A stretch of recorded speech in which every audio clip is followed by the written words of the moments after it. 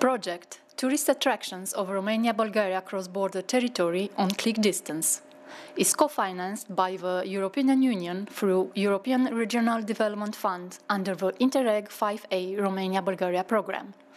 The content of this material does not necessarily represent the official position of the European Union.